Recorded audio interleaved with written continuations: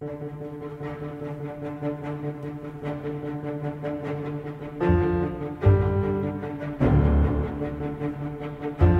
evening, and thank you for being with us today. My name is Tom McCulloch, and I'm an Assistant Director within the Federal, within the Office of Federal Agency Program. Can't hear?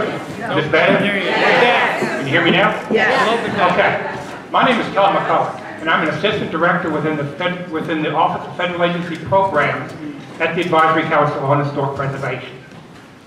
I'm representing our chairman, Mr. Wayne Donaldson, who could not be present today due to medical reasons, and I'm substituting for Mr. Reid Nelson, director of my office, who was supposed to be here today but had a serious family emergency that took him out of the office and prevented him from attending. Also in attendance from the HHP is Ms. Catherine Kerr from my office, and Ms. Lynn Richmond, a Communication and Public Affairs Specialist in the HHP.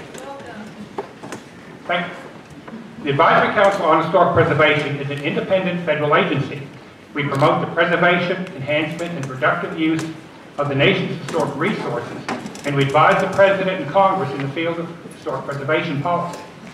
The ACHP was created by the National Historic Preservation Act of 1966, and we oversee the Section 106 process of that act, which require all federal agencies to consider the impact of their actions or undertakings on properties listed on or eligible for the National Register of Historic Places. We're here to carry out the Advisory Council on Historic Preservation's responsibility to comment to the Secretary of the Navy on the effects of their proposed increase of aircraft and aircraft operations on historic properties.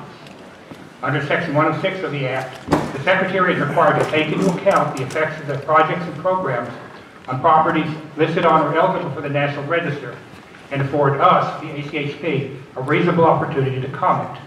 The Section 106 consultation process was terminated on November 30th by the Navy, and the ACHP has 45 days from that notification to provide final advisory comments to the Secretary of the Navy. As is apparent from our agency's very name, our comments are confined to our area of responsibility, namely historic preservation issues as they relate to projects requiring federal assistance or approval. So I want to stress that the purpose of this meeting is to obtain input on the effects of the proposed increase in aircraft and aircraft operations on historic properties and possible steps that could be taken to address historic preservation issues. Testimony regarding issues beyond this limited scope is not germane to the chairman's deliberations. I should note that a great deal of information already exists from years of consultation in consideration of this project, and that material will be considered in the chairman's deliberative process. I would also note that the chairman's final comments in this case are, as our name applies, advisory. The secretary is required to personally consider them and respond to them prior to making his final decision on the project. However, they are in no way binding on the Secretary or any other federal official. The final Department of the Navy decision on the increase in aircraft in aircraft operations will be based on consideration of a broad range of issues that include, but are not limited to, historic preservation.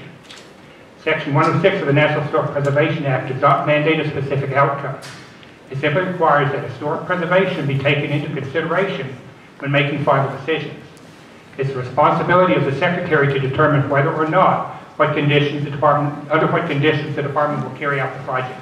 The ACHP will provide its final comments to the Secretary in a timely manner and no later than January 14, 2019, unless there's a lapse in our funding temporarily stops the clock. When the Sec- We're waiting to hear, who knows? When the Secretary has received our comments, they become a matter of public record and will be shared. They will be posted on our website. We recognize that there is a significant frustration among some members of the community with past meetings hosted by the Navy, and we want to ensure those who are attending tonight that this meeting is in no way a continuation or substitution of those meetings. In carrying out our responsibilities to now provide advice to the Secretary of the Navy on the undertaking's effects to historic properties, it's important that it be informed by the views of the public. I understand there have been concerns about the need for such a meeting. However, it is both usual and customary for the ACHP to seek public input through a meeting like this, and it is important that we understand your views on the case. Y'all have to live with the decision. To be clear, while the Navy has assisted us with securing the venue and offering us logistical support, this is an ACHP meeting, This is not a Navy meeting. We also wish to mention,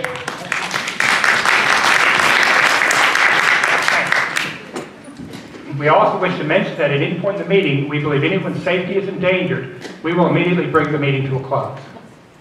Now Thank let's you. turn briefly to how this session will proceed. All statements will be made at the microphone here in the front. You must go to the microphone. Please be ready to speak immediately after the person preceding you. When you have 30 seconds remaining, the yellow warning sign will be raised by Kate. When the red sign panel appears, you've got to stop. We must be efficient to allow all those registered to speak to have that opportunity. Please note that there is a stenographer present to capture statements, to capture the statements made today, to assist us in processing the information. And it is our understanding that members of the public may be filming tonight's meeting. First, representatives from Naval Air Station Whidbey Island and the Department of Archaeology and Historic Preservation will have up to 10 minutes to offer their comments. Next, consulting parties who have been invited to speak will have a maximum of three minutes to offer their comments. Then, those individuals who are pre-registered to speak will have two minutes each. For those of you who have just registered to speak, we will do our best to ensure that you have an opportunity to speak. Kate will call names from the roster and will also call the name of the person who's scheduled to speak next. Both those individuals should move to the microphone and be prepared to begin as soon as the speaker before them departs. If you are not at the microphone and ready to speak, we will proceed to the next speaker. We have forms at a table at the entrance for written comments, and your comments can also be emailed or faxed to the ACHP no later than 5 p.m. on Thursday, January the 3rd, 2019. We can give you the email address, which is whidbeyislandcomment@achp.gov, and the fax number if you need that. I assure you that written comments carry as much weight as verbal comments, and will be, all will be fully considered as we make some decisions and recommendations for the Navy. Please fill these out and give them to individuals at the table by the entrance. We will not take any formal breaks. If you need to leave the room for any reason, please do so in a courteous and non-disruptive manner. And if you've not already done so, please turn off or silence your electronic device. Okay, Kate? We will hear from the Department of the Navy, represented by Captain Matthew Arney. You have 10 minutes. Excuse me, Kathleen. I have a point of order. I'd like to know who is recording us and if there's any media present. I am not given permission for this man to record me, and I have no idea who he is. I excuse me, this is a public place. I have a right to record you. If you have a problem with that, you need to leave this building immediately and do not come back. Who are Until you? this- I, I will not answer that question unless a law enforcement officer instructs me to answer that Oh, question. law enforcement, where are you? Got about eight of them here. Joe, why don't you just, It's just a point of order. Point of order. It's a disruptive point of order and it will not be accepted. Joe, sweetie, you're not in charge, okay? This is an ACHP meeting, and I just like to know what right you have to record people. I have a right under the Nope. U.S. Constitution to record a public meeting. I have a right under the First Amendment, which says specifically, Captain, please correct me if I am wrong, sir. Be sir. recorded. Thank you, law enforcement officer. please don't interrupt the meeting. You can record. Thank you, sir. Please move to the side, Joe, then.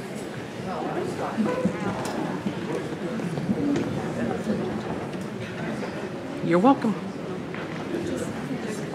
Just to let everybody know, if you do not want to be recorded, um, please say so at the beginning of your time.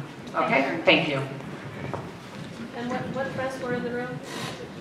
And why does the Navy get first chance to speak? So your project is there under Kate. Going well, at least anywhere. Well, there's two questions. Um, Lynn, do we have members of the media who are present?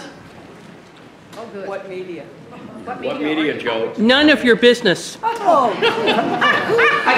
please, this is your opportunity to talk to the ACHP about thefts to historic properties. We've already said this once, we please, please be courteous to everybody in this room. Secondly, this is usual and customary format for how we handle these meetings. The lead federal agency is the Department of the Navy, and so they are given the first opportunity to speak. Captain Arney? Thank you. The Navy has been considering the congressional action to fund expansion of electronic attack capability to meet the challenges of our adversaries that we face as a nation. The Navy's decision requires an assessment of the expansion of the Growler community and its effect of- on historic properties. The process which brings us together this evening is the National Historic Preservation Act, Section 106 consultation. For this undertaking, the Navy's consultation has lasted many years and included periods for public comment. During the most recent phase, consulting on resolutions for adverse effects, consulting parties provided a variety of resolutions to consider. We have worked through an evolving draft memorandum as we sought to reach an agreement. Despite differing perspectives and opinions, the Navy has worked to remain fair to the process and to our partners in our shared community. Our duty in the Navy is to defend the country. We are fully aware that in carrying out that mission, we must care for the communities where we live and serve. We must consider the potential impacts of the Growler expansion on historic properties while we work with the community to find an agreement that supports our national defense requirements. Despite the hard work from all parties, we were not able to agree. The Navy preferred to reach an agreement, and the decision to terminate was not entered lightly. The Navy remains committed to our communities, to the Section 106 process, and to resolving adverse effects. The Navy welcomes ACHP's recommendations, which will be informed by the public comments this evening. Thank you.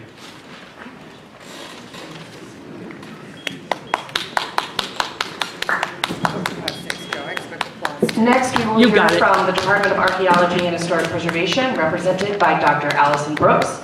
You have 10 minutes. I'm Dr. Allyson Brooks, and I am your State Historic Preservation Officer, and I am... Joe's. I represent the Office of Governor Jay Inslee. So first of all, I would like to start and say, on one hand, I can see where the Navy's saying we've been in consultation for some years, but I would also like to point out that it wasn't until late August of this year we started talking about mitigation. So there has to be some timeline perspective here. We didn't do APE till 2017. And I'm sorry, APE means area potential effect. So, one, we did not agree with their area of potential effect. We wrote you a letter and told you. We do not understand the 65 decibel contour line as an APE.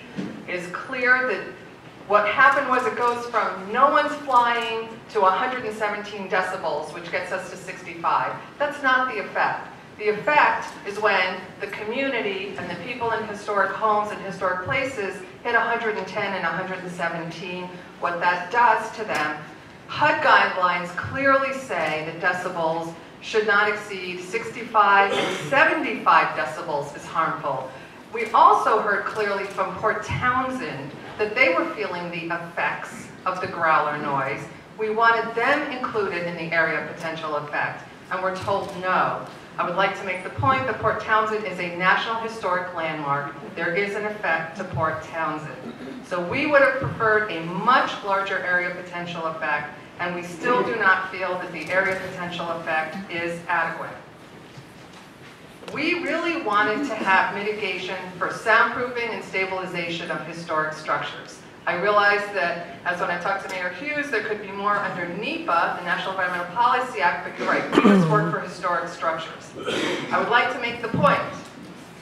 Federal Highway and Washington State DOT, under Section 106 of the National Historic Preservation Act, was required to do noise mitigation for SR 520.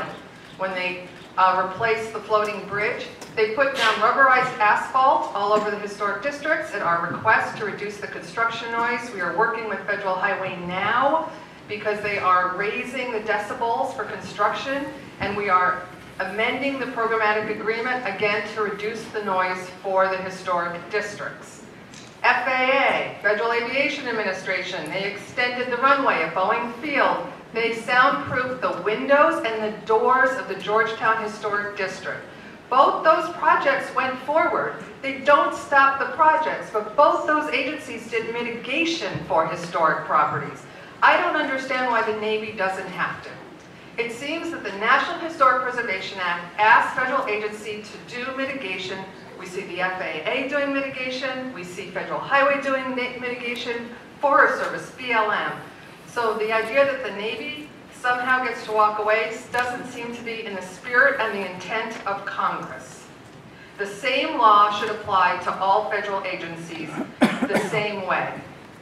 For you, I think we need better leadership on indirect effects. It's clear that the concept of noise, I would hear things, people say, well, it's just noise. So it's not just noise, it's 110 decibels of noise. And as you heard from me earlier, even the mining industry is starting to ask questions about indirect effects. I think we're going to need leadership from the Federal Advisory Council on what is appropriate mitigation for indirect effects. I also want to point something else. I'm going to quote 54 U.S. Code 302-303, Responsibilities of the State Historic Preservation Officer. In Section A, federal undertakings so we consult with appropriate federal agencies in accordance with this division. This is the law. Federal undertakings that make historic property and the State Historic Preservation Officer, which is me, is supposed to set, tell you the content and sufficiency of any plans developed to protect, manage, reduce, or mitigate harm to a property. This implies that the federal agency, the Navy, has responsibility to take the state's position seriously.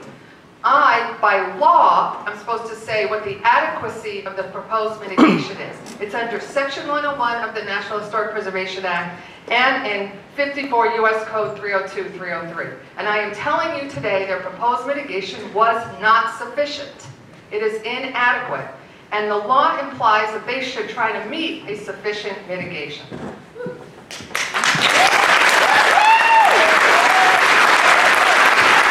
Can we cut out the So I want to say, why does the Navy not have the authority to conduct appropriate mitigation under Section 106 like every other federal agency?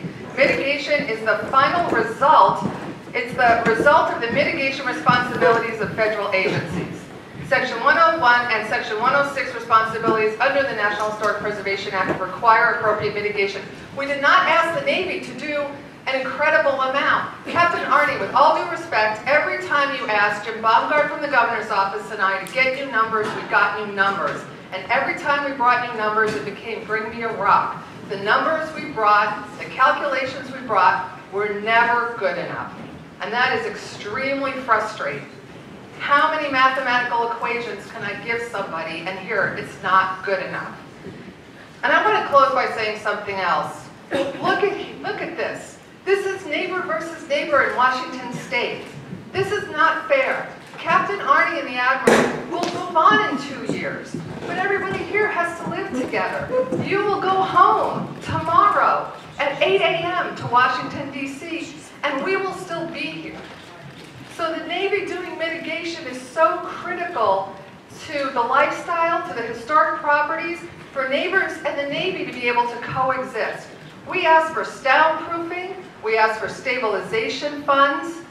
We asked for an operations management plan, and I don't think we were out of range at all. I think we were fair, and that our, our requests should be properly considered, and the mitigation should be sufficient, just like it says in law.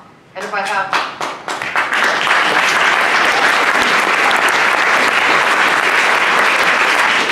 If I have more time, I would like to cede my time to the mayor of Coupeville, Mayor, Mayor Molly Hughes. Can I cede my time to the mayor? Just like in Congress, you can cede time.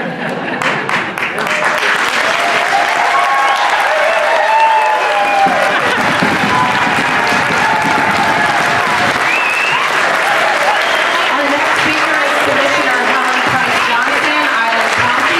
You have 10 minutes.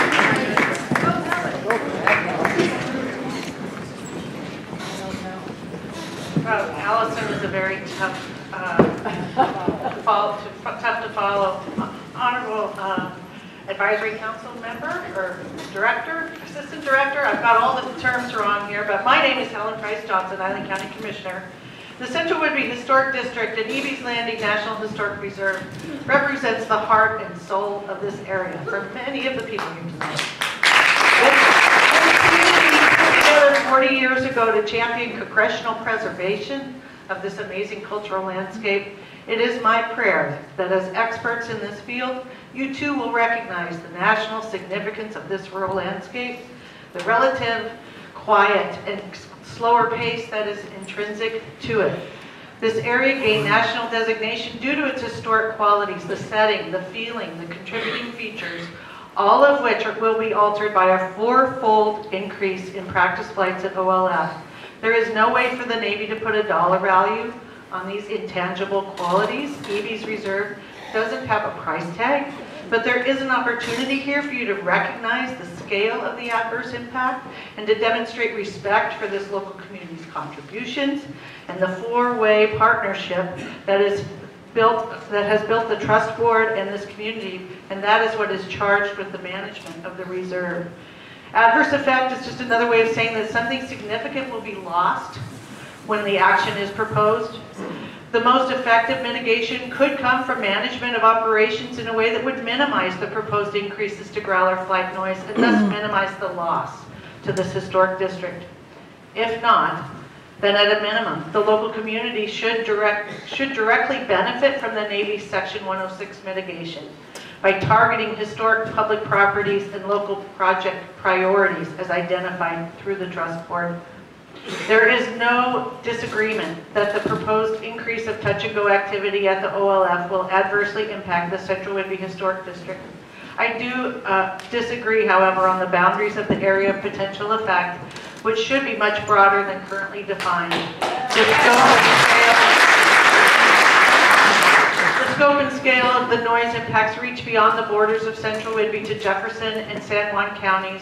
Those sister jurisdictions also have historic properties which will be adverse impact, adversely impacted by the increased flight proposed.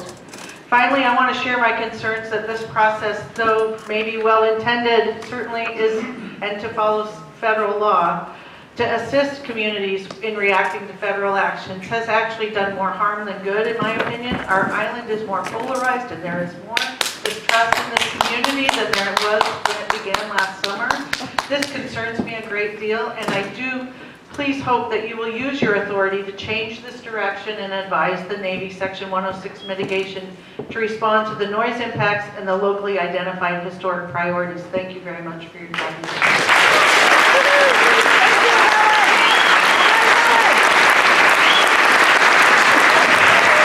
Our next speaker is Mo- uh, Mayor Molly Hughes, Town of Coupeville. You have three minutes. Please understand, if she has to stop talking, that cuts into her three minutes.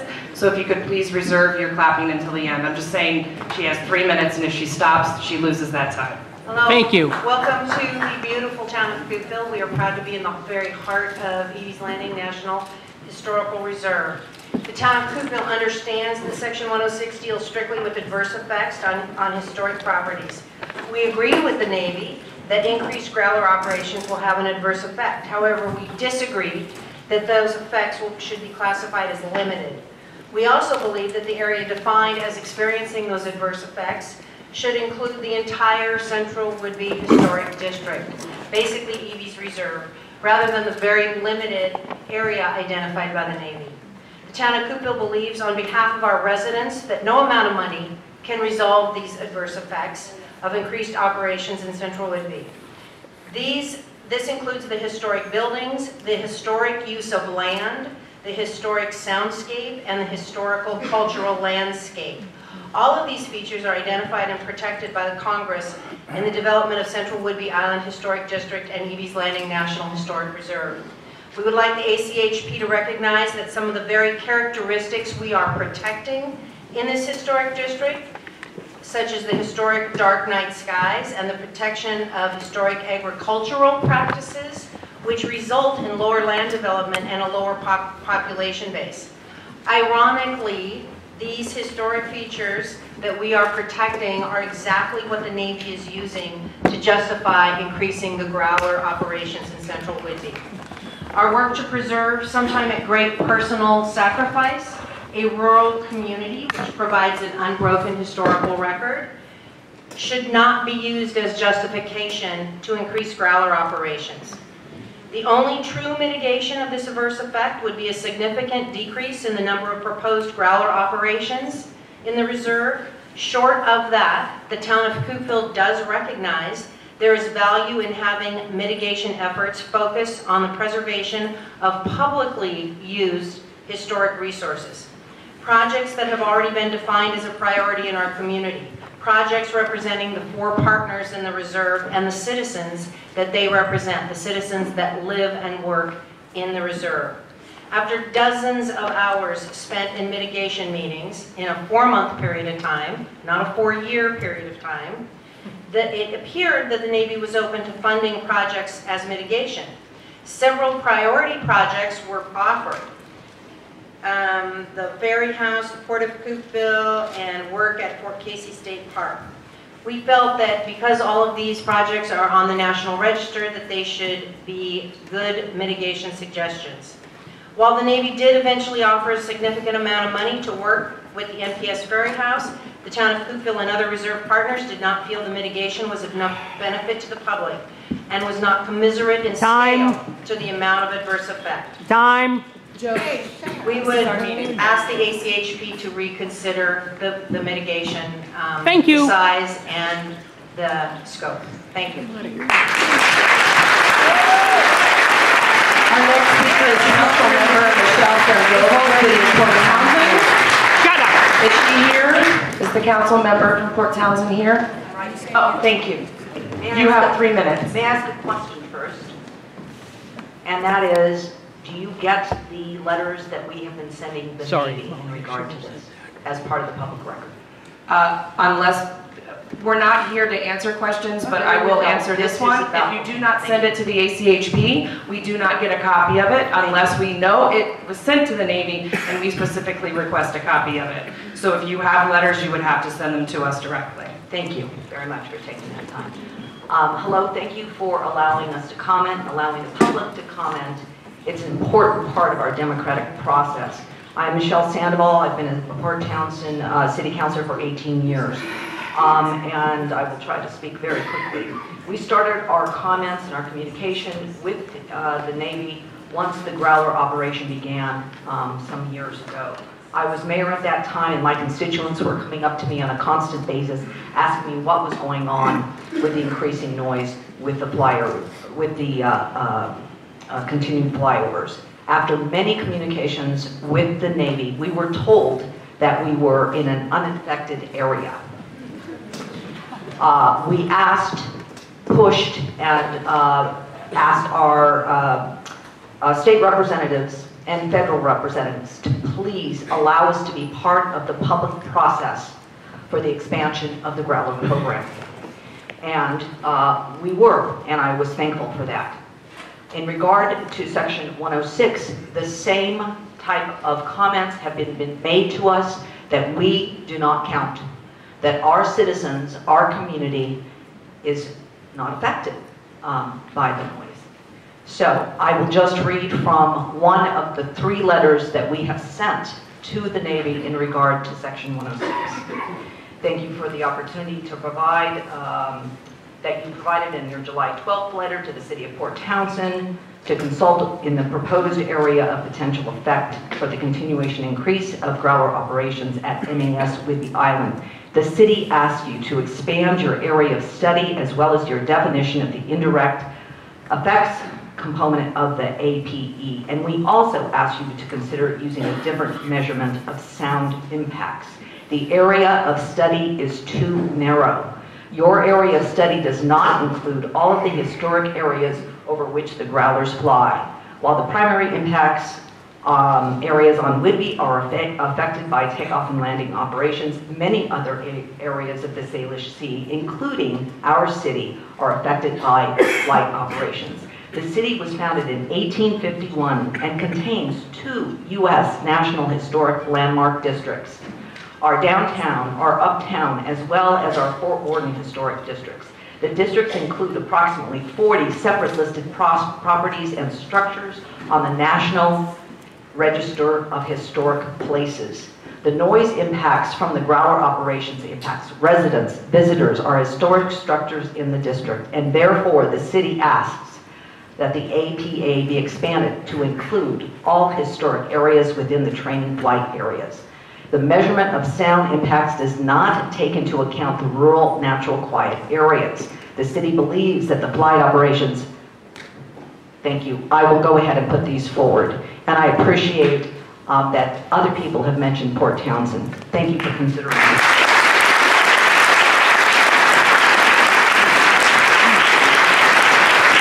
Our next speaker speaker is Mr. Roy Zipp, Superintendent of Ebey's Landing National Historical Reserve. You have three minutes. Knock him dead, Roy.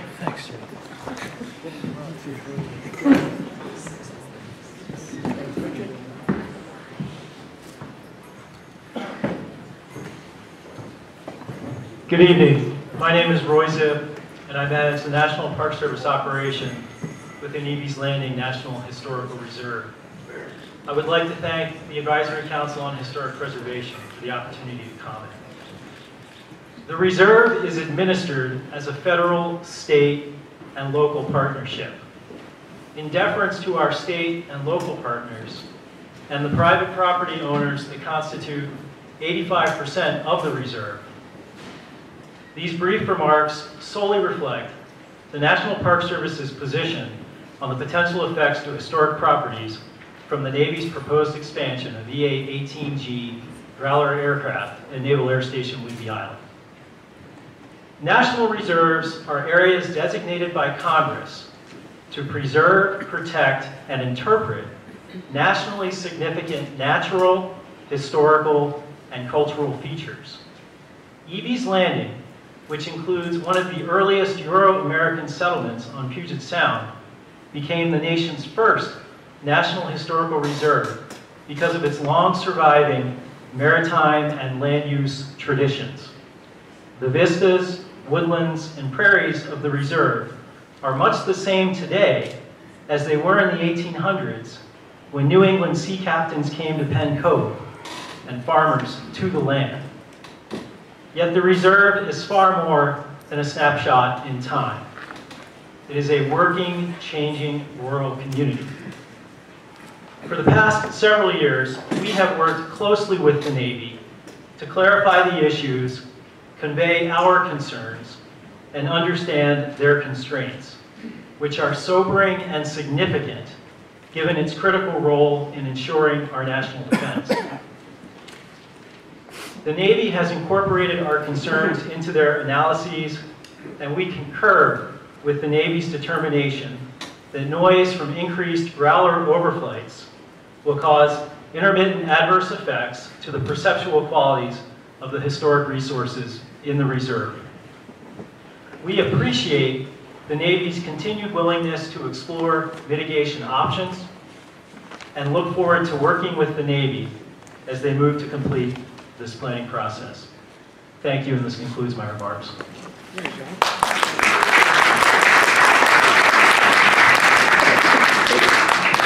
Our next speaker is Ms. Kristen Griffin, Executive Director, Ebey's oh. Trust Board. You have three minutes.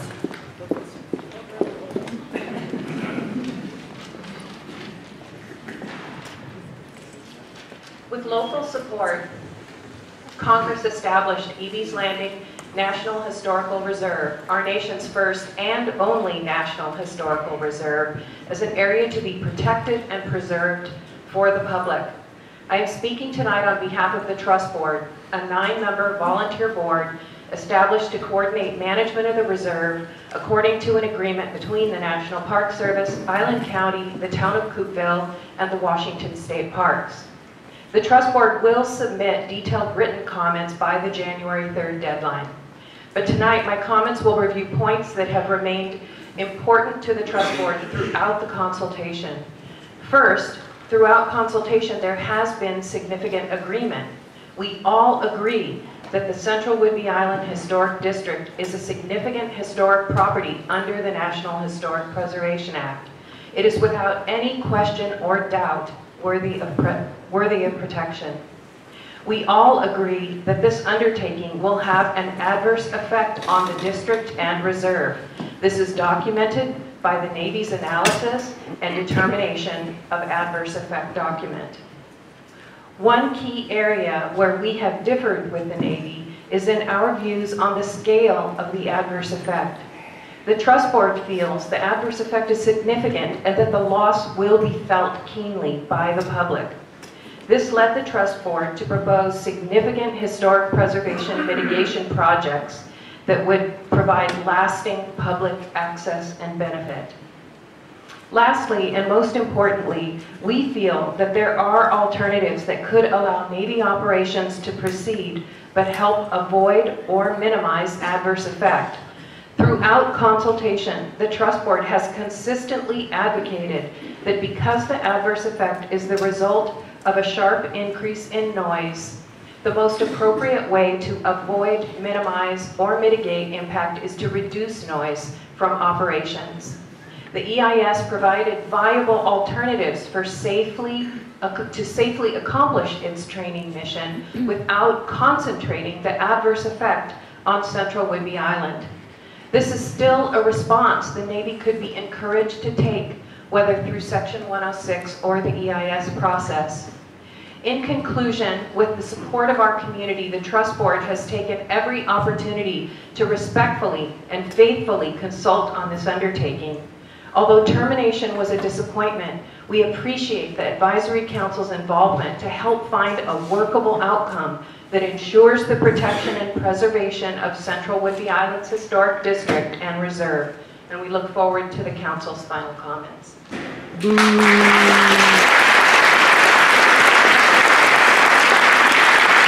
Our next speaker is Ms. Marion Atwood, representing citizens of Ebey's Reserve. You have three minutes. My name is Marion Atwood, and I was a consulting partner in the Section 106 process. My organization, CORE, now working with the Sound Defense Alliance, uh, strongly objects to the way that the Navy has managed this 106 process that has ended in no agreement.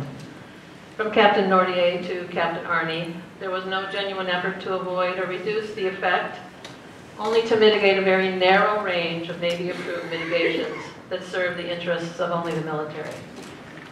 Uh, we agree, uh, we submitted many, many, many comments about the way that the noise was modeled, and that this resulted in uh, an APE that was too narrow, leaving out La Conner and Port Townsend. Uh, the Navy did not explore measures to avoid or reduce harm to the historic pro properties. They rushed to mitigation. Uh, we believe that the whole reserve is, is an historic property. All 17,000 acres, not a particular building or a view shed. It's all a nationally registered district. Um, many of us uh, recommended operational reductions my organization even offered a phased-in reduction plan. An adverse effect is found when an undertaking may alter, directly or indirectly, any of the characteristics of a historic property that qualify the property for inclusion in the National Register. Is the Navy intending to degrade the reserve so that it will not qualify for inclusion in the National Register? The adverse effects include seven items. Number, number five is the introduction of incompatible visual, atmospheric, or audible elements. Additionally, adverse effects may include reasonably foreseeable effects caused by the undertaking that may occur later in time, be, fur be farther removed in distance, or be cumulative. We don't feel that this has been appropriately addressed. I urge the ACHP to encourage the Secretary of Navy to consider operational mitigation that will avoid the effect or reduce it. No amount of money can substitute for the intent of and the inclusion on the National Register and its supposed protections on Ebey's Reserve and historic property. Thank you.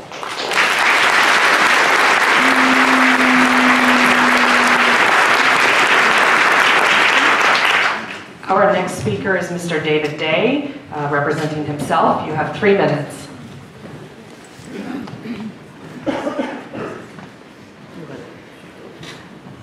When I first became a consulting party, I was uh, on the board of the Friends of Ebey's. I hope this reflects uh, their thoughts as well as my own. I want to thank you for the opportunity to address you this evening. It's very tempting to share facts about health and hearing, facts about accident potential zones, facts about property rights and property values, facts about drinking water contamination, facts about single siting, or facts regarding the effects of excessive noise on other life forms that we share this amazing corner of the world with. But supposedly, there's a time and place for everything. This Section 106 process was supposed to speak to how historic properties would be adversely affected by the proposed expansion of the Navy's EA-18 Growler program. The Navy says their analysis of potential adverse effects includes whether the undertaking would introduce or change visual, atmospheric, or audible elements that diminish the integrity of the property's significant historic structure features. In reality, this process effective, effectively puts the Fox in charge of monitoring the henhouse. And unfortunately, the Navy found very limited examples of how their undertaking might create adverse effects to this vernacular cultural landscape that is Central Whidbey Island. By rights, the time and place for the Navy to practice carrier landings in Central Whidbey should have ended 40 years ago with the establishment of America's first historical reserve. Ebey's Landing National Historical Reserve was established by Congress in November of 1978 to, and I quote, preserve and protect an unbroken historical record of Puget Sound exploration and settlement from the 19th century to the present. In the years since, the Navy has continued to promote and execute their mission on Whidbey Island. For many of those years, the Navy and the local population worked together to allow that mission to continue successfully and allow residents of Central Whidbey to live in relative peace. The arrival of the growlers changed that virtually overnight. It's difficult to understand how increasing the number of operations by supersonic aircraft doing low-level maneuvers over this historic area by roughly fourfold will not radically and likely permanently alter the cultural landscape of this more than 17,000 acre reserve. For most of us, it's already begun. How do we deal with the incompatibility of these conflicting missions? Certainly not by walking away from the dialogue. We hope that the Advisory Council on Historic Preservation will urge the Navy to reevaluate the way they look at the special corner of our country and develop and, impl develop and implement methods to both avoid and minimize the adverse effects of this undertaking by eliminating or at the very least limiting the number and frequency of operations. In doing so, the Navy would take a big step in maintaining their stated goal of being a Time. good neighbor and a responsible member of the community. Thank you.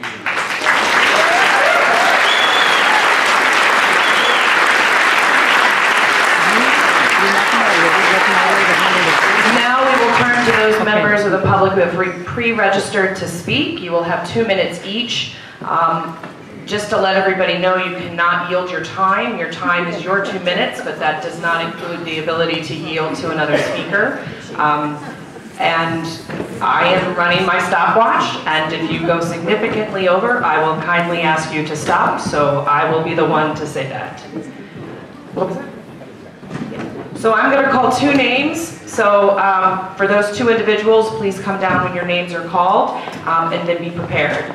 Would Michael Monson, and please forgive me if I do not pronounce your um, name correctly, and Joe Kunzler, please come forward and commence your statements in order. Joe, come on, come on, come on, No, come on, Joe. You got it. Come on, Joe, come on.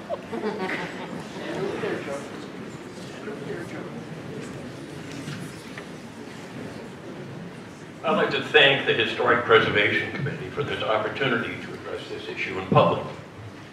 My wife and I moved to this area in 2003.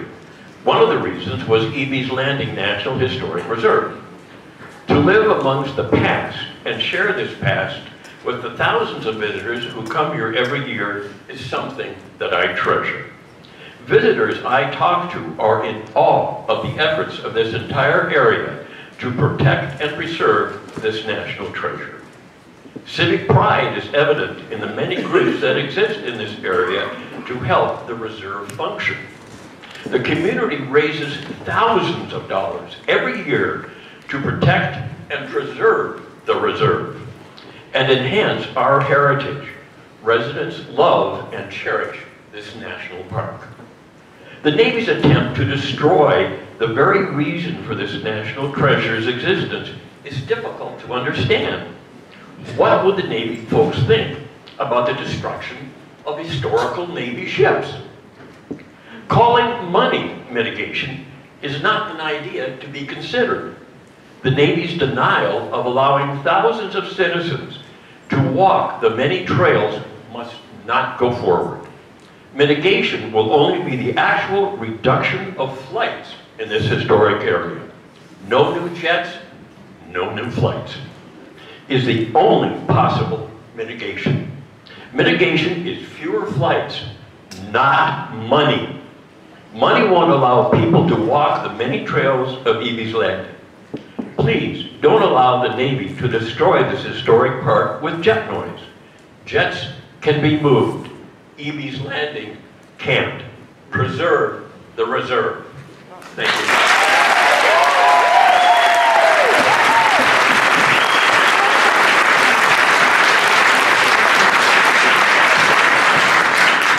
Ready? Good evening, ACHP. Joe Kunzler here.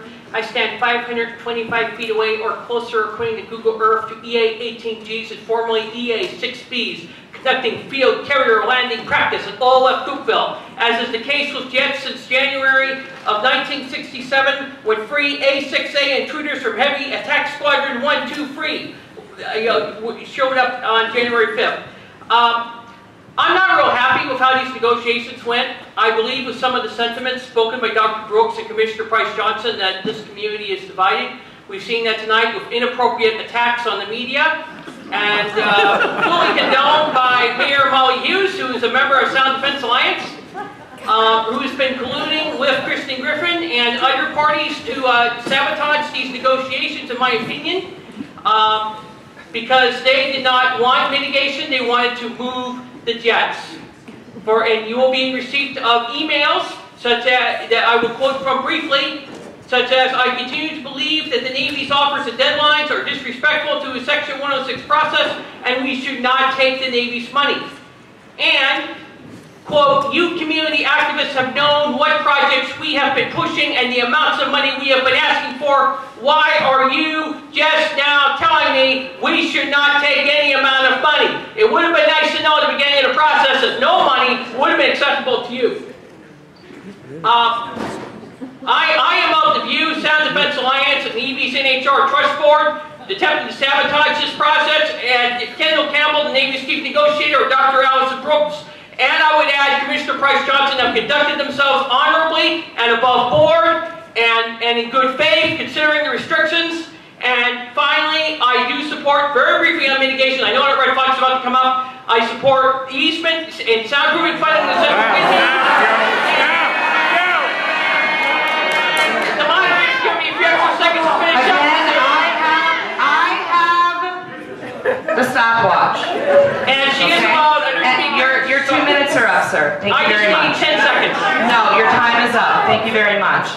Would Donald Faber and Valerie Ruther come forward and commence their statements in order? Is Donald Farber here? All right, then I'm going to call up Ken Picard to speak after Valerie.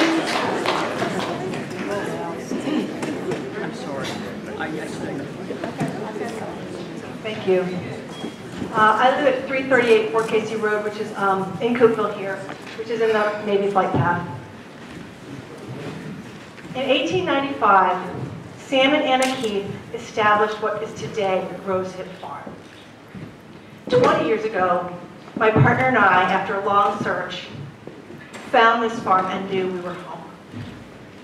Since that time, with the help of the Ebey Forever Fund in our community, we've invested thousands of dollars into restoring and maintaining the Keith Farm. In fact, we're on the Washington State Historic Barn Registry. On our farm, we grow organic vegetables, fruit, flower, flowers, and bees. It's a beautiful place, and Sam and Anna Keith would be proud. We have hundreds of customers who count on us for clean, healthy food. Our customers love coming to the farm. They love the feeling and the setting of it. They love the association. They can touch history with our yellow farmhouse and that big old barn. It takes them back in time. And just as important is the peace and quiet that they find at the farm. So now let's talk about farming under the jets. Have you all heard the growlers? If you've not stood in a field and had three or four growlers going overhead simultaneously, then you cannot imagine the impact. The decibels in our farm hit over 115. Whoa. The National Institute of Occupational Health and Safety said, farm inside. We can't farm inside, and we can't farm with contaminated water. We have an organic farm school on Whidbey Island, but the farmers coming out of that school are not farming in central Whidbey because of the growlers. We who are farming in central Whidbey, we've taken a thread of history. We're holding that, we've brought it forward and kept it alive today to keep it relevant, and the growlers threaten that. So I'm going to ask you to do what you can to protect our farms. Thank you.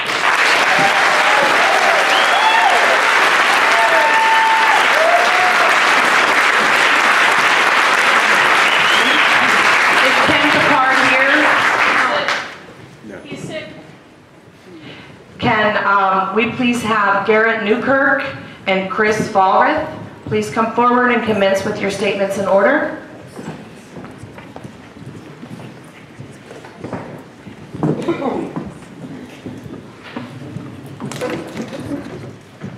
Good evening. My name is Garrett Newkirk, uh, North Whidbey resident. Um, The Navy is proposing a mitigation for the historic district. Uh, If you've spent any time on here, that is going to be impossible uh, due to the fact that these jets, they want to mitigate it to average 365 days a year. That is impossible uh, because you will not have people coming to walk, coming to stay, or coming to even go to any of the farms in Central Whidbey. Uh, If you, depending on how you came onto this island, if you came on through the north end of the island, uh, we are one of the last large farms on North Whidbey uh, coming onto the island. Our patronage has dropped because of those checks. They are not the 117 decibel, they are 140 to 150 decibels. When they are turning in banking, uh, we've had a person have a heart attack in our field. We have had people uh, run out with their kids because of the amount of pollution from these aircraft, the amount of noise. It is intolerable. There is no way to mitigate this noise. The only mitigation is to move these aircraft to where it is a more appropriate place. Somewhere like 1.1 million acres, White Sands, New Mexico, hundreds of millions of acres. Why not move it there? Not around communities and not around civilian populations. You want to talk about a National Historic Register? uh, That noise stretches all the way up to Vancouver Island. I took my mom up there for a birthday. We sat down for coffee outside. You know what two people said to us? What is that noise? Just fathom the distance that reaches. You won't have people.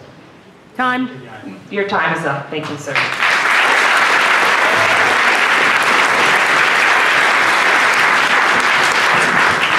you. I prefer not to be filmed by any uh, personal citizen. Thank you very much. You need to stop filming. Excuse me, this is a public meeting. Are you going to attack them as well? Because if you remove me, you have to remove them. And I will happily accept. the We're plea. not removing you. Someone has asked not to be filmed, and we wish you to respect her. I will wishes not respect that under any circumstances unless they will respect that. We're all media. You take me out, I print the home addresses of all those involved. Joe, do you have a press license? Do you have press credentials? Media, tell us who you are, jerk. I do not know where this will go as a private citizen has, so I'm concerned. Thank you. Thank you.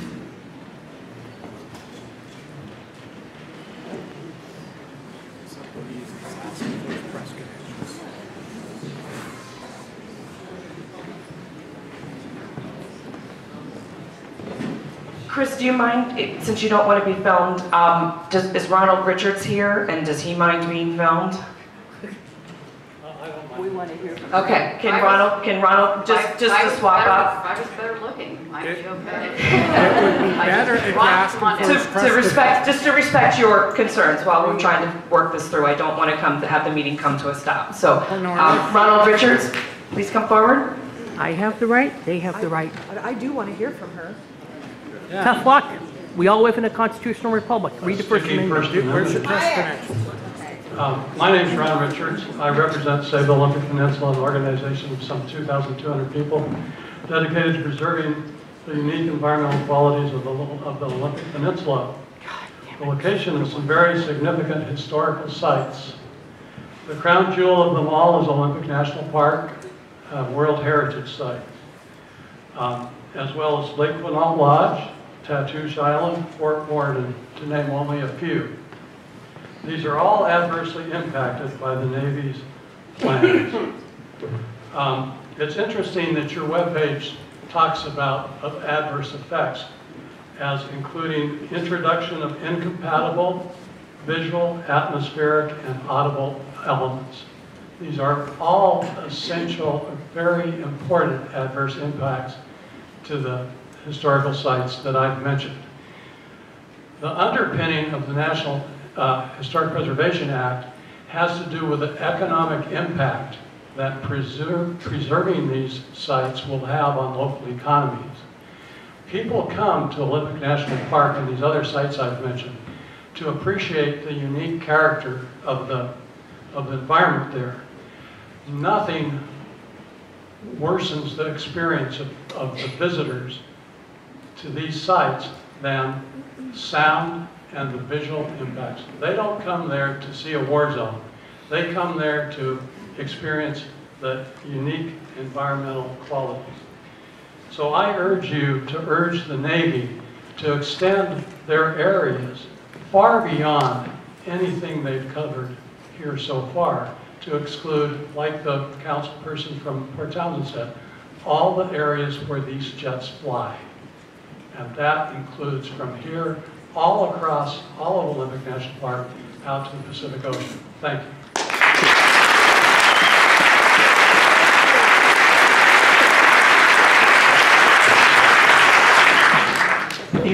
I can remove my position. I don't want to be disruptive to these hearings. Okay. The message is too important, and Joe, I appreciate your rights as a citizen, okay? Thank you. I am uniquely qualified to be here. I want to thank all of you for being here. My name is Kris Fellrath. A little closer to the mic. Thank you. I'm uniquely qualified because I have been part of the military-industrial complex for 36 years. I retired two years ago as a senior vice president of business operations of Boeing Commercial Airplane as a direct report to the CEO. I've had property in Admirals Cove for 20 years, and unfortunately, I no longer trust the Navy. The Navy has poisoned my water on my retirement property, and it's taken a long three years of onerous bureaucracy, and I still have no plan or no resolution date, even though a solution has been identified. So my question to all of us is, do we feel the Navy can be good stewards and honor the intention of our beloved preserve? No. And I would say no. No! They have poisoned our water. They have put us at risk. I offer the water to their families that they let my family drink. And I have friends who are deathly ill now from this poisoned aquifer, and it will not get better. We cannot allow this water to go any further, but it's going to go right into our sound. And to the earlier point, hurt the creatures.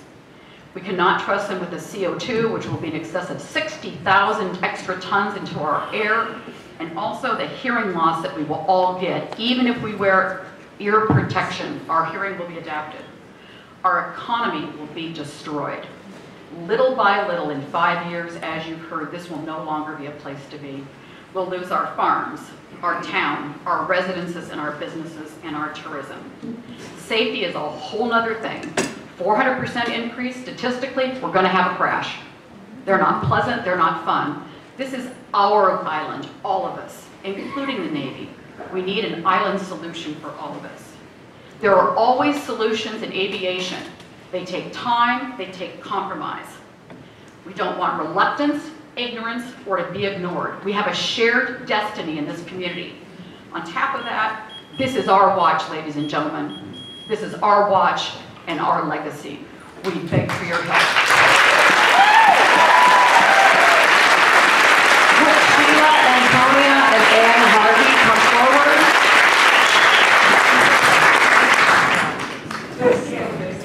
Would would Sheila, Antonia, and Anne Harvey come forward?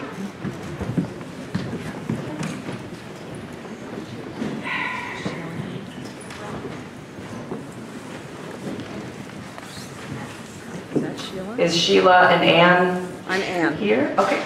Okay. Yeah. Can you? Can you also please turn that to us, because you're here to provide comments to us, not to them, okay? Thank you very much. My name is Ann Harvey. I'm an educator and I've lived in Coupeville since 1984. My life has been enriched by the beauty, serenity, and power of Ebey's Reserve. Every day I'm struck by the incomparable majesty of this place, this historic reserve, our communities, our country's historic treasures. Thank you for being here to listen to our community's concerns. We value your time, your careful listening, and your formulation of recommendations to the Secretary of the Navy. It's my understanding, quoting directly from the ACHP website, that the goal of the NHPA, which established your council in 1966, is to have federal agencies act as responsible stewards of the nation's resources when their actions affect historic properties. This includes more than the structures, more than the landscape, more than the wildlife. It's the intersection of all of these elements that makes a place worthy of designation as an historic property. Step four of section 106, achieving a resolution, states the agency, in this case the Navy, explores measures to avoid, minimize, or mitigate adverse effects to historic properties. But what is an historic property, our 17,000 acre reserve, without people? Who will come to take in this landscape, to appreciate the historic structures and watch the eagles soar if there's a fourfold increase in growler operations? Adverse effects, as defined on the ACHP website, are those that diminish the characteristics qualifying a property for inclusion in the National Register. Are we looking at a future when the diminished characteristics of Ebey's reserve means it no longer qualifies as an historic property? That is not acceptable. The Navy has not explored measures to avoid or minimize effects. In addition, their review of historic preservation impacts excluded the public and did not consider the rest of the impacted region, such as La Conner and Port Townsend. The Navy is not acting as a responsible steward. The Navy must explore measures to avoid adverse effects to Ebey's reserve. The only appropriate measures to, to address these effects are reduced operations or move the ground. Your two minutes are up. Is Sheila Antonia here? Sheila, this is your last chance. All right. Will Steve Bristow and Bob Wilbur come forward and commence with your statements in order?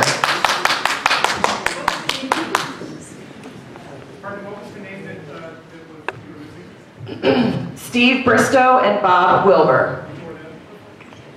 I'm here. I'm Steve Bristow with Navy League. Welcome to the best island in the United States. A million dollars is on the table. If that number was 5 million or 10 million or more, would that be enough? No! And therein lies the rub. Power money. Many on one side of the table are aligned directly with that sentiment. The primary goal is to remove the growlers and the Navy from Whidbey. Am I, am I right? No! It's not about the reserve. Will any of your recommendations or actions reduce Navy operations on Whidbey? And I know that the answer is no. Behind me, out the door, up and down the island, are tens of thousands of people who are not part of any activism, but are part of the full Whidbey community, Dr. Brooks. They desire responsible parties to deal in good faith for a reserve that is everyone's reserve, not just the activist self-interest and not for politics. Of the history, of all the history and all the groups of Whidbey Island, the United States Navy has the deepest and longest pedigree, bar none. Saratoga Passage plus others are Navy names. The Navy predates Colonel Ebey by nearly a decade. The OLF predates the reserve by 35 years. Possibly the top volunteer group for Ebey's reserve is the Navy itself and their sailors. Sir, please find parties who speak for the whole community. This is not a shakedown. All mitigation re should reflect the Navy's history and commitment to the future. What about the Native American?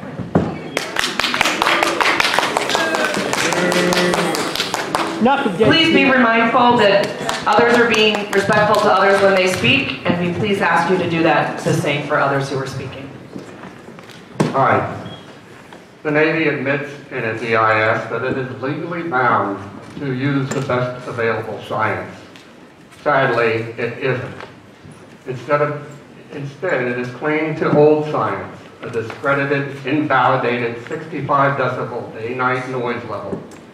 They say high annoyance begins at that 65 decibel level. Real science says no. It's more like 55 decibels. That is what the real noise experts in the US and 90 other countries say as an inconvenient truth for the Navy because 55 decibels doubles loudness. Look, we all support good training for our Navy pilots. But does military convenience trump reasonable and doable alternatives? Alternatives that do not upend the supportive community and its preserver. Ebey's Landing Historic Preserve is an ancestral place, a place of quiet, solemn reunion with our past. It is not for sale. Neither are those island ancestors who, hand, who settled and hand-carved its structures and now haunt its fields. Our preserve is not up for sale for a fistful of mitigation dollars. We may not be the decision makers, uh, but we are something they have to reckon with because we are their conscience. And, their con and as their conscience, we are whispering in their ear every day, louder and louder. Growlers move, this preserve cannot. Its visitors must come to it. Will the sound of war fit their expectations or destroy their experience? Of those decision makers we ask, who ask our sons and daughters to serve with honor, we ask them to do likewise and protect the reserve.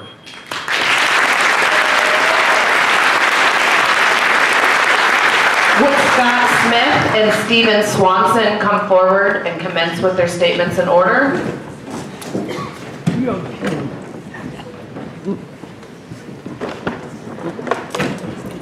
And for the sake of our stenographer, please do state your name before you, you start, when you start speaking. Thank you. My name is Scott Smith. I am a retired naval officer, lived under the flight line for 10 years, prowlers and growlers. I know that noise can be annoying.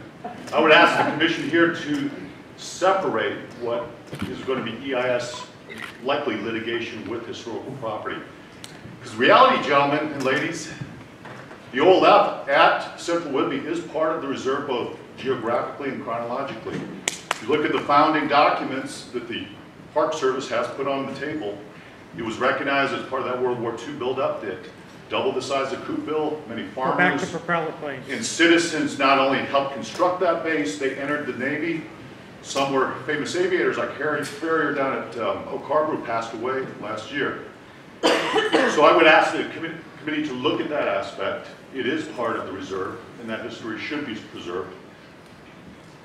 But the question is, why are we here today? Why couldn't an agreement be reached? And through a lawful public record search in Island County, I think we have seen that answer. There is one group on that uh, consulting party list whose stated mission is to remove all growlers from the Northwest.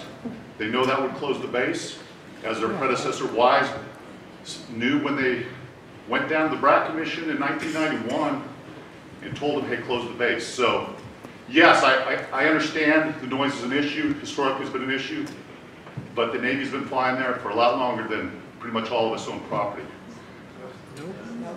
Nope, lie. So, in that public search emails, there is statements to the effect, not for sale. Those went to the entire consulting committee, and that was when a purported $4 million deal was on the table. That record, lawfully obtained, will be part of my written documents, and I will provide that to the committee. Thank you, sir.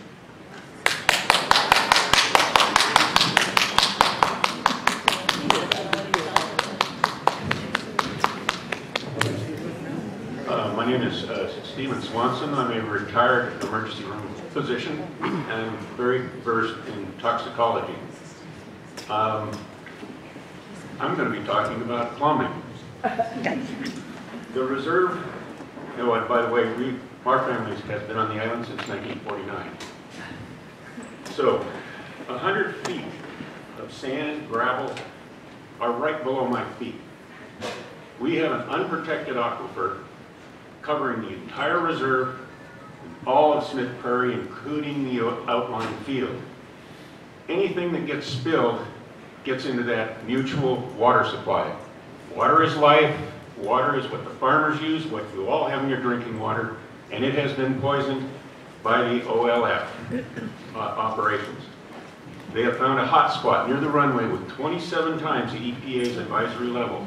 At that point, they stopped saying that they had no record of the styrofoam being used at the field. But we have waited now two years on bottled water, and it is hell on wheels to have your laundry, your dishwasher, and everything else putting toxins into your body every day. You can take a look at the plumbing in this building, which is on the reserve. All these buildings, they uh, are supplied by Coupeville's tap water.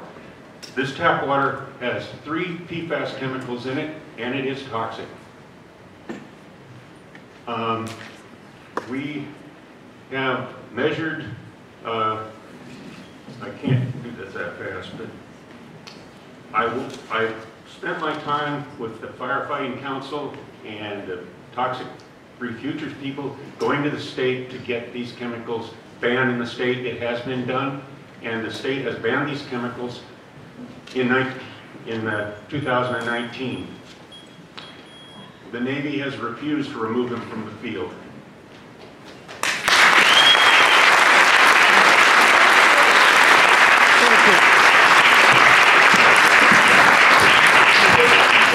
The longer I can't include more people, the less people will be able to speak at the end. Would Tekla Cunningham and George Thawley please come forward and commence your statements in order?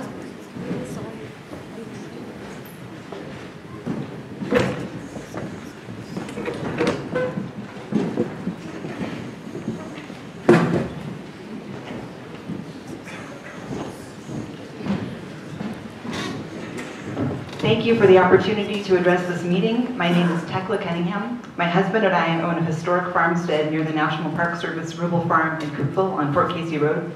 Our property consists of nine historic structures contributing to Ebey's Landing National Historical Reserve, including a farmhouse, two barns, and several other outbuildings that date from the early 20th century. We are in the process of restoring these structures with the input, advice, and grant funding we have received from Ebey's Landing. Renovating historic properties is a complex, expensive, and time-consuming undertaking. The human use of the reserve and its landscapes and, structure, landscapes and structures are fundamental to the mission and purpose of the reserve. The point of restoration and renovation is to bring these old buildings back to life by putting them back into a relationship with various human uses. Properties like ours and those of our neighbors like Jenne Farm and Rosewood Farm include a mixture, mixture of economic activities that all rely on the presence of people. Farm stays, weddings, events, and agriculture. This economic activity is what makes substantial investments in these structures possible. A sustainable use for our property includes sharing it with visitors. A visitor who visits historic properties is by their very presence participating in the preservation of these properties. They bring economic activity and their presence and interest in this special landscape, landscape is a fundamental part of the mission of the reserve. The Section 106 draft put out by the Navy asserts that jet noise will not cause direct structural damage to historic properties, but this is a red herring. Jet noise impacts historic buildings by impacting their caretakers and crippling their potential uses. If you drive away the people who visit and care for these buildings, you drive away the means to take care of them.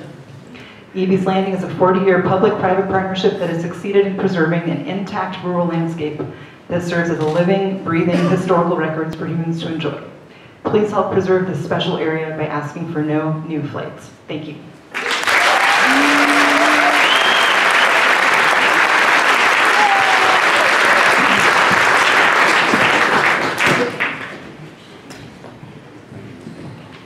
My name is George Thawley. On the Advisory Council of Historic Preservation website, I noticed there are two active cases in Whidbey Island. The first is the properties to be mitigated under section 106. And second, the proposed increase of Growler aircraft and aircraft operations at Naval Air Station Whidbey Island.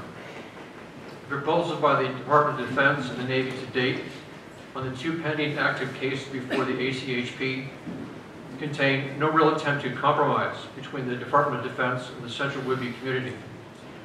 The lack of urban sprawl and bright commercial lighting in our community that has drawn residents and thousands of visitors to Central Whidbey each year is also the stated reason for the Navy to have 80% of total Growler aircraft carrier landing at our well of Coupeville, next to Ebey's reserve, with almost no land buffer. The noise will be on top of us and be constant. There can be little mitigation with a fourfold increase, 24,000 operations in Growler aircraft. How do you shield buildings, visitors, and inhabitants from such an increase in aircraft noise and damage? Do you soundproof historical buildings?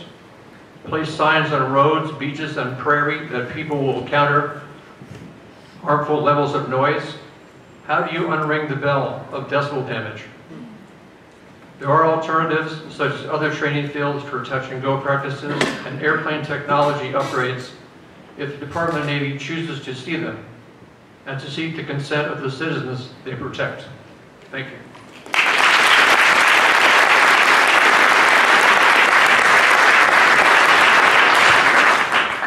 Would Michael, so sorry, Ferrari and Fran Enhertz come forward and commence your statements in order? Just like the boat. Very good, thank you. Very simple. Ebey's Reserve, well, Ebey's Reserve is 17,500 acres, all of which shall be impacted by the proposed Navy plan. The lower Skagit people lived here, nurtured this land, and had nine village sites here for over 10,000 years. That's their heritage. The first American settlers came here almost 170 years ago. 40 years ago, local, state, and federal people and agencies worked together to protect and preserve the history of this special place.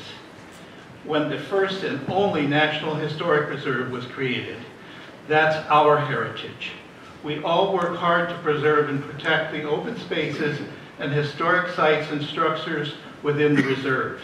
The open pastures and farms and our historic small town were never intended to be as an ideal accident potential zone. Heaven forbid that any Navy jet should ever crash anywhere. But we all know what APC means and stands for.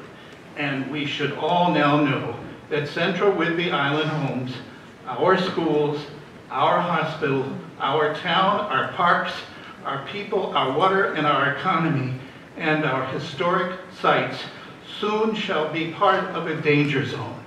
Do our farms and public lands and our sparse population density make our citizens and our heritage more expendable? Statistics may support that argument, but what does humanity support? I am on two committees, public organizations on the board of directors, and I speak here this evening as a, a private citizen. My name is Michael Ferry, that's F-E-R-R-I.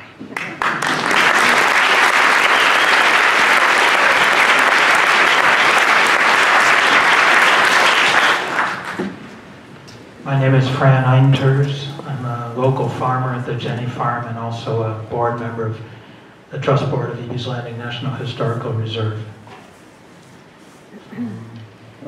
I'm asking the ACHP tonight to please recommend to the Secretary of the Navy that this expansion project stops altogether due to the irreversible adverse impact on the congressionally des designated Ebey's Landing National Historical Reserve. Alternatively, direct the agency to step back through the mitigation process, but this time with the objective of seriously considering decreasing operations and mitigating the damage. Section 106 mitigation began in earnest in August of this year. For three months, parties worked in good faith to come up with a roadmap and were unable to reach an agreement until the Navy terminated negotiations. It's easy to conclude that mitigation simply isn't possible. But we have a skilled negotiator in the CO, Captain Arney, and participants well-versed in 106 like Allyson Brooks and Kristen Griffin, and highly intention, in- in- excuse me, highly intelligent and motivated people like Mayor Molly and Commissioner Helen and Congressional Representative Larsen and his staff, all willing to find a solution. Wow. So please recommend to the Secretary of the Navy that this expansion project stops altogether due to the irreversible adverse impact on Ebey's Landing National Historical Reserve, or alternatively, direct the agency, in this case the Navy, to step back through the mitigation process, but this time with the objective of seriously considering decreasing operations and mitigating the damage.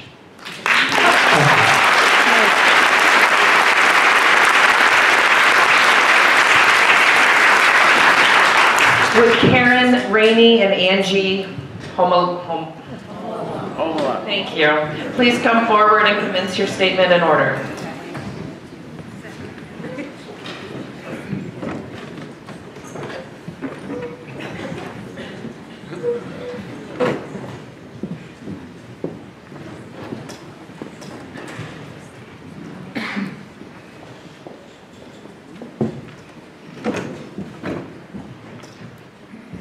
My name is Karen, my name is Karen Ramey. In 2005, the Navy sought to introduce growlers as replacements for prowlers. There, in 2005, the Navy sought to introduce growlers in place of prowlers. Their environmental assessment on pages 42 and 43 made the following assurance. Operation of the EA-18G and replacement of the EA-6B will result in less noise exposure to the local community due to better performance as a newer aircraft and a steeper climb-out rate. It thereby it reaches a higher altitude more quickly, which reduces the noise exposure to the community." End quote. The Growler's noise levels has proven those assurances counterfactual. Jet engine thrust is a measure of its high velocity kinetic energy discharge, and the Growler generates 35% more thrust than the Prowler. Result, unbearable high level of decibels. A Citizen's Guide to Section 106 review published by you, the ACHP, and available on your website, identifies the grounds for ACHP intervention. Under adverse effects on page seven, the fifth example, as has been repeated previously this evening, is the introduction of incapable, uh, excuse me, introduction of incompatible visual, incompatible atmospheric, or incompatible audible elements. A fourfold increase in growler use will be harmful to the reserve and the region for many reasons. The growlers are disruptive to the reserve soundscape. Exposure to growler jet noise is a known health hazard. We ask Navy planners to please seek alternatives to the planned growler operations on Whidbey Island. Thank you.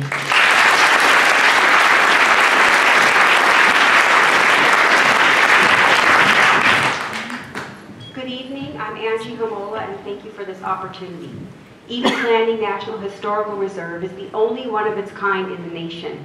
Its collaborative formation by public and private and local, state, and federal parties is a testament to the will of Americans to preserve and protect our nation's history. As an architect and former member of the Historical Review Board and former Island County Commissioner, I played an active role in the development and adoption of design guidelines for the preservation of this valuable heritage treasure. I fully recognize the importance of a strong military. As the wife of a 25-year naval aviator, I know that our sailors and soldiers do not want to destroy the very people and place they are dedicated to protect. The Navy's appropriations and actions are directed by our elected congressional officials, who appoint councils to review proposals and to advise them of the pro- project's consequences and adherence to law. I respectfully urge this council to adhere to the National Historic Preservation Act. The accuracy and depth of your study on this proposed federal project and your reporting to the Secretary of the Navy and ultimately the Secretary of the Interior, Congress, and the President on its wide-ranging impact will greatly influence the outcome of the record of this decision and thus the degradation or the preservation of this historical reserve. It is your duty to assure that before any recommendation is made, all steps outlined in that act are followed, including but not limited to a full review by the National Endowment of Humanities, full participation by all consulting parties, including tribal nations, a full and comprehensive EIS that includes platforms operating in tandem out of NASB and all affected historic preservation areas, the environment, and the people that are impacted. I ask that you advise of the true adverse effects of the Navy's proposal and what it will have on the reserve and our immediate and affected communities, and that further study before a record of decision is made. Based on current impacts, a no expansion recommendation is all that can apply under the Act. Thank you.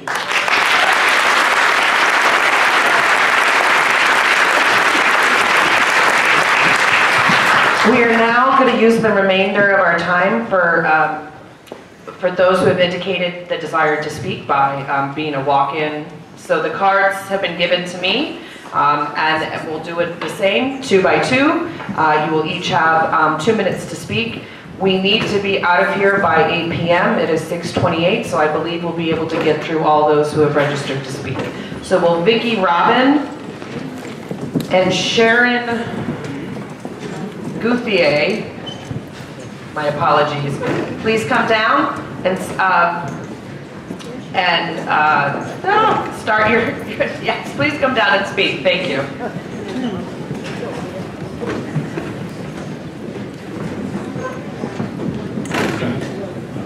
Hello, I'm Vicki Robin. Thank you for this opportunity. I'm an author um, of two books on sustainable living. I live down in Langley. I'm not directly affected by the jets, but I have a, a deep concern for agriculture, farming, and sustainability. And uh, I invite you to take a look at this room full of heroes, hometown heroes, people who love our community enough to come to hearings like this and show up in so many ways to volunteer and serve on boards as elected officials, build businesses, and on and on and on.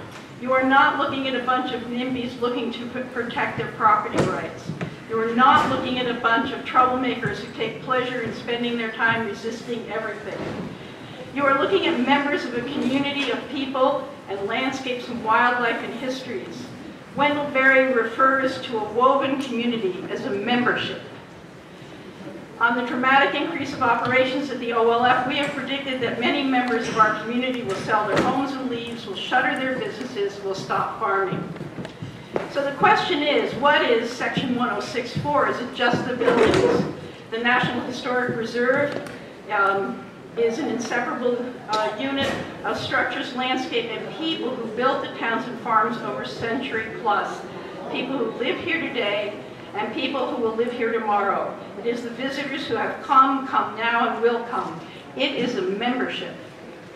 Perhaps you simply think of the reserve as a museum, relics of the past, kept in good shape for education of people now and in the future.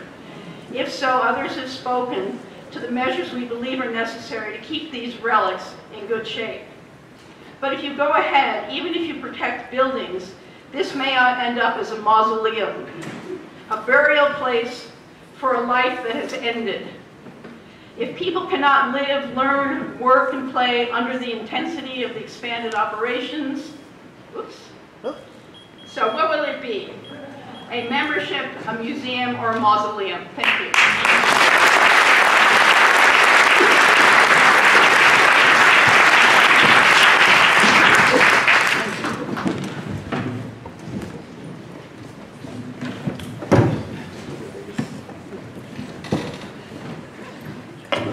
Hello, I'm Gothier, President of Whidbey Audubon Society. Ebey's Landing National Historical Reserve is not just the historic buildings that are here. It's a historical and cultural setting that includes the landscape, the water, the sky, and the sounds of the area. Crockett Lake, which lies within the reserve, has been designated a Washington State Important Birding Area using an internationally agreed upon criteria. Island County and Washington State have also designate- designated Crockett Lake as critical habitat.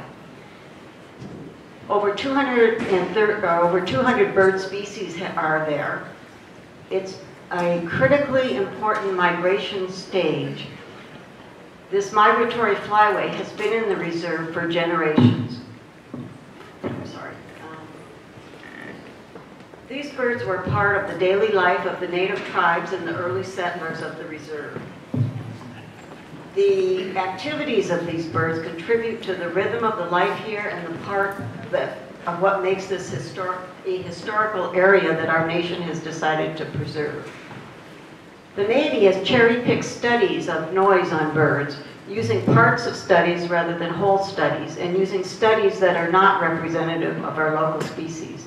There are many studies that point to birds' avoidance of noisy environments and the resulting changes in breeding success, ability to find food, etc.